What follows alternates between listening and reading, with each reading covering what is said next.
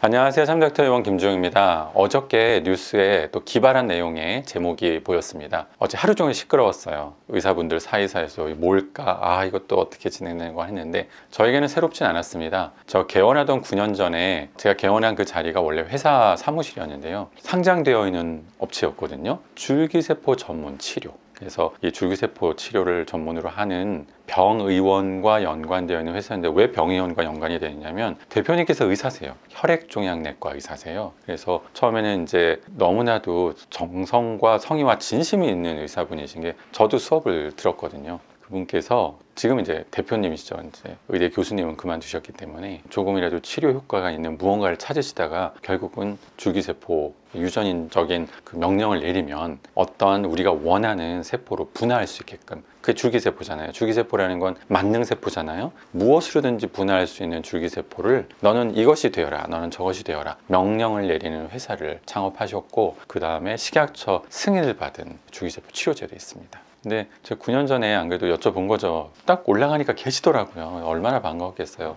졸업하고 한참 만에 뵌 거니까. 그래서 아우 교수님 혹시 머리 심는 데는 도움이 안 될까요? 라고 했는데 두 가지 정보를 주셨어요. 줄기세포를 저희가 이제 추출을 해서 한 달 동안 분할을 한 다음에 혈관으로 주사를 한번 놔보셨나 봐요. 이게요 되게 비싸요. 한 2천만 원 해요. 만약에 우리가 이제 소비자로서 접근을 해서 그 치료를 받으려면 2천만 원 정도 하는데 또 원천 기술을 갖고 있는 회사이시니까 실험 삼아서 해보신 거죠. 세 번을 하셨대요. 한 분에게. 안 난대요? 머리 안 난대요. 왜냐하면 어, 이것은 이제 우리들도 알고 있지만 탈모라는 거는 노화죠 노화. 유전적으로 모낭의 노화만 일찍 오는 게 탈모다 보니까 줄기세포는요 전신순환을 하면서 문제가 있는 곳을 타겟을 해가지고 세포 분열을 해서 잘못되어 있는 세포를 정상세포가 이제 보다 더 세포 분열을 더 왕성하게 해서 덮는 구조거든요. 쉽게 말씀드리면 그래요. 모든 줄기세포 치료에 대한 기전이 똑같지는 않지만 일단은 잘못된 세포여야 하는데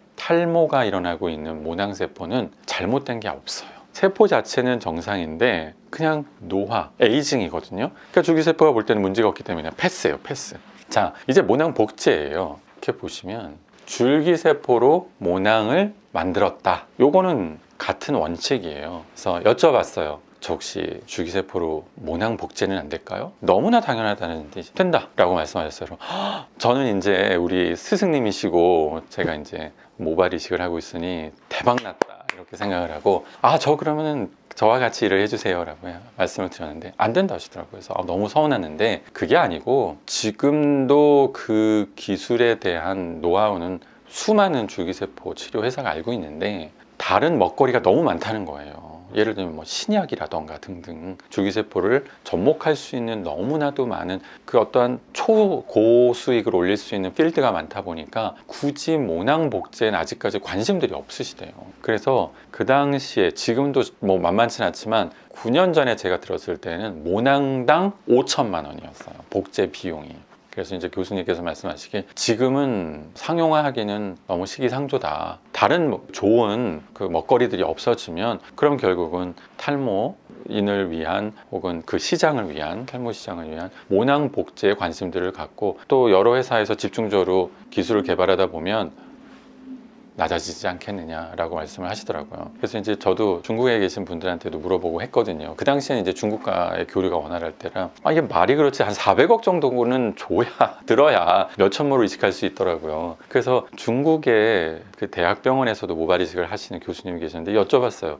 아 요건 어떻게 생각하세요? 라고 했는데 사실 그때는 이제 중국 재벌 들이 이제 세계적인 재벌로 막 호령할 때라 뭐 비용적인 부담은 전혀 없으나 아 이것도 또 문화적인 차이가 또 쇼킹하더라고요. 중국 분들은 이게 문화적으로 대머리가 돈을 번다 혹은 부자 중에 대머리가 많으시대요. 그래서 머리 빠진 분들이 모발이식 안 한대요. 그럼 자기의 제복이 바뀔까 봐. 그래서 중국에서 그러한 기술이 얼마든 비싸던 비용은 상관이 없는데 수술 안 할 거라고 저는 처음에 생각할 때는 이제 중국 분들이 은근히 겁이 많아가지고 되게 민감한 부분이 많잖아요. 그래서 뭐 절개로 채취를 하던 비절개로 채취를 하던 뭔가 이제 피를 본다는 게 싫어서 안 하는 줄 알았는데 대머리를 좋아한대요. 그래서 결국 뭐 그런 부분도 없었고 그래서 새로운 팩트는 아닙니다. 벌써 뭐 십수년 전부터 이미 노하우는 있었고 아직까지 시장 형성이 안 됐다 그렇게 보시면 되고요. 그리고 한 2년 전인가 강남역 사거리에 회사를 하나 차린 분들이 있죠.